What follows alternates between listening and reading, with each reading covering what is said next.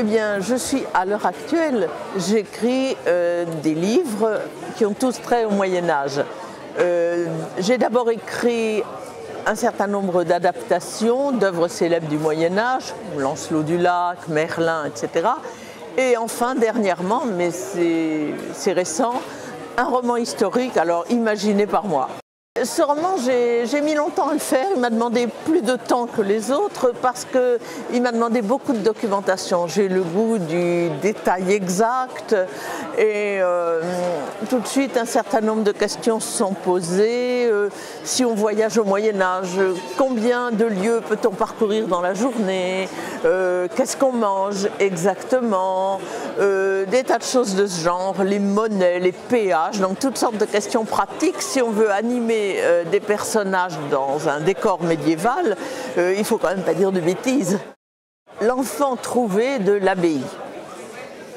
Avec au départ bien sûr une énigme, euh, un bébé qu'on trouve abandonné aux portes d'une abbaye. Habituellement, on abandonne les enfants que si l'on est très pauvre, trop pauvre pour les élever. Mais là, c'est curieux, c'est bizarre. Dans l'espèce de corbeille où se trouve l'enfant, il y a une bourse pleine d'or, euh, des objets précieux.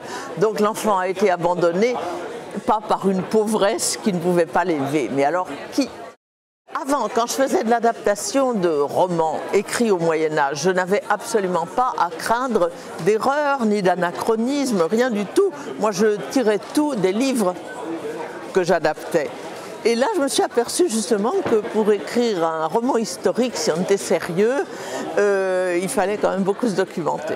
Un projet, je ne suis pas encore passée au stade de l'écriture, mais je sais déjà que je vais écrire alors un autre roman, euh, donc avec un personnage fictif, mais qui sera dans le cadre d'une histoire, de l'histoire de l'histoire vraie, celle des premiers explorateurs, le terme d'explorateur convient mal, des premiers voyageurs qui sont allés euh, vers l'Asie, vers la route de la soie euh, au XIIIe siècle. ils ont découvert donc ce qu'ils appellent les Tartares et que nous appelons maintenant des Mongols.